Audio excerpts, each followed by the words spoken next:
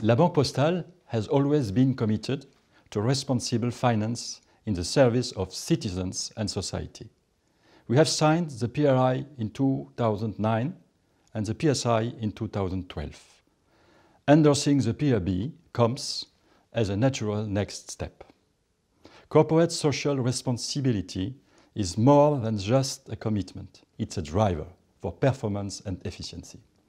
In charge of the mission of banking accessibility, we provide free access to essential banking services to more than 5 million people in France, who would otherwise be excluded from such services.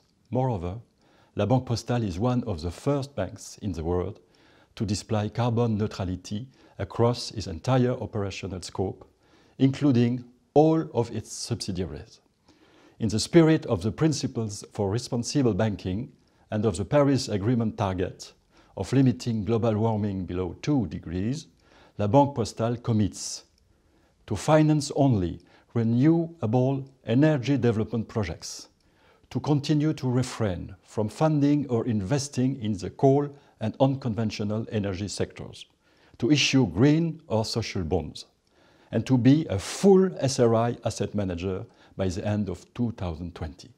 For the second year in a row, La Banque Postale was ranked first in France and second internationally in terms of extra financial performance.